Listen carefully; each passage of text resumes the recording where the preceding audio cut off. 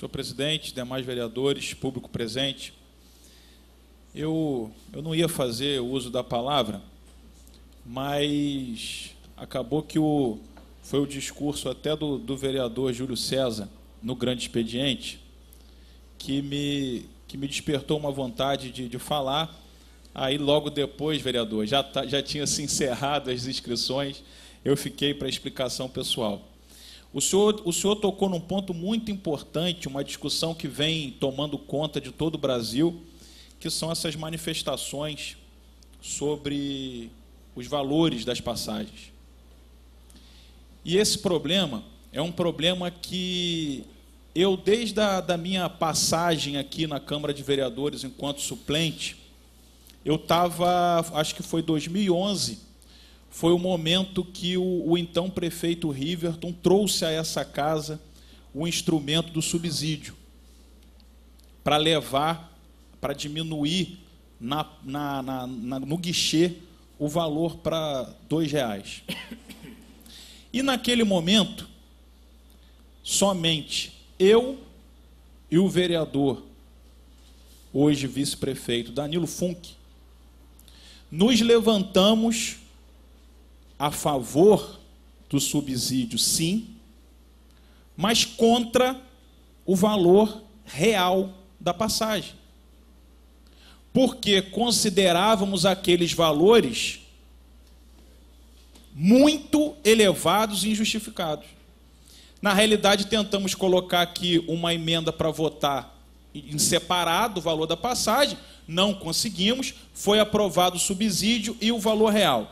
Exatamente como essa discussão depois, agora, com mandato como titular, eu também fiz nessa casa. Fiz, ponderei os benefícios do subsídio, é importantíssimo, mas o subsídio, ele mascara o valor real da passagem Macaé. R$ 3,16, como o vereador Julinho colocou. Porque São Paulo são Paulo, que está vivendo aquele clima, aquela convulsão social, manifestações, aquela coisa toda, a passagem agora foi para 3,20.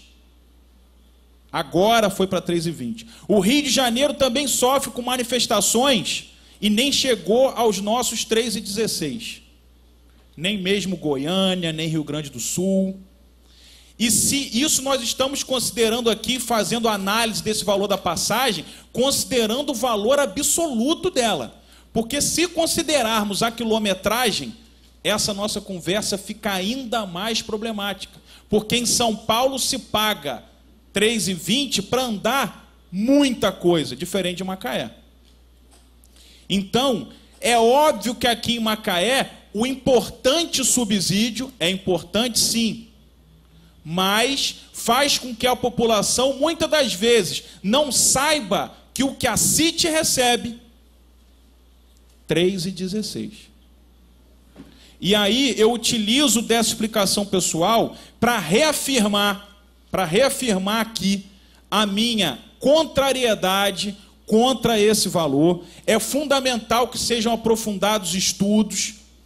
E é mais do que fundamental que nós estamos aí ainda está correndo prazo para resposta, mas estamos esperando o posicionamento do governo acerca do nosso requerimento que pede que imediatamente seja abaixado o valor da passagem devido à isenção dada pelo governo federal no PIS e no COFINS nas passagens de ônibus.